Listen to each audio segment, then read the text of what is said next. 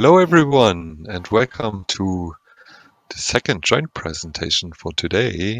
I have the pleasure to introduce in the middle Scott Gordon from DuPont Teijin Films. He is a business development manager. And to the right, I have the pleasure to introduce John Fahlteich, who is research group leader at the Fraunhofer FEP and they will tell us a little bit about advances in polyester film substrates for flexible electronics. So, Scott, over to you. Great. Thank you, Christoph. Yes, uh, I'm Scott Gordon. I'm with DuPont Teijin Films. I'm located near Richmond, Virginia, in the uh, eastern United States. Uh, I've been with the DuPont Company for almost 35 years, and most of that career has been in the electronic materials businesses. Since 2013, I've been with the polyester films business.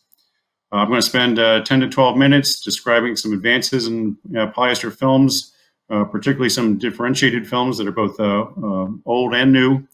and then I'm going to turn it over to my friend over at Fraunhofer, John Fahlteich, and he's going to describe some of their work on identifying substrates to provide optimized barrier film performance.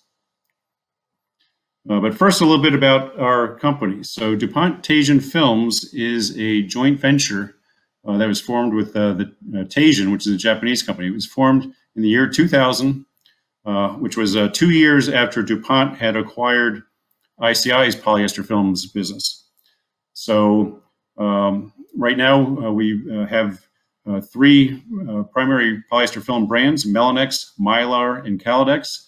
Uh, the first two are PETs. Uh, Kaladex is a, a PEN. Um, and uh, these brands have been around uh, since the 1950s. Uh, polyester films are used in a wide variety of applications. Uh, some are commoditized, some are not.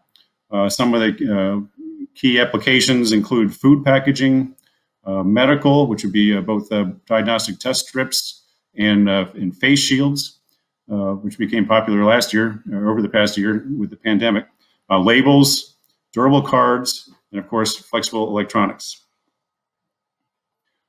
Uh, we have six uh, manufacturing locations throughout the world, uh, two in the US, two in Europe, and two in China.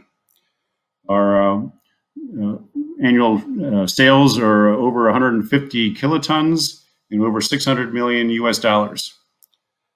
some of these production sites have the ability to uh, manufacture the polymers that go into making the polymer films, which gives us uh, the ability to tailor many of our polyester films for the end applications. So many of the high volume polyester films are commoditized. Um, and there's a strong competition globally with those commoditized films. Uh, our decades of experience has uh, enabled us to develop a unique and differentiated uh, toolbox to make uh, higher value polyester films. And that's what the focus of today's talk will be. Uh, as you can see in this uh, illustration, we have the ability to uh, either uh, mono extrude or co-extrude multiple polymers to form a single film. and several of those polymer types that we utilize are over on the right. and I'll be talking about some of those specifically later. we also have the ability to inline coat or uh, provide put a pre-treatment onto the film surfaces to enhance the properties of the film. Uh, these are um, very, very thin, typically uh, less than 0.1 micron in thickness, uh, but they help uh, achieve enhanced properties, particularly adhesion, which is important for many of the printed and flexible electronics applications. So if you look broadly, the portfolio polyester films includes different colors, you know, hazy, clear, white, and black. Uh, there's a variety of uh, film thicknesses ranging from one micron to 500 micron. Uh, many of the very thin films, like one micron up to six or eight microns, are most commonly used in film capacitor applications. Uh, but they're also finding their way into uh, current collectors for lithium-ion battery. Um, biaxially oriented uh, semi-crystalline polyester films have somewhat unique physical properties, uh, which can be summarized as you know, high stiffness, good dimensional stability, and solvent and moisture resistance.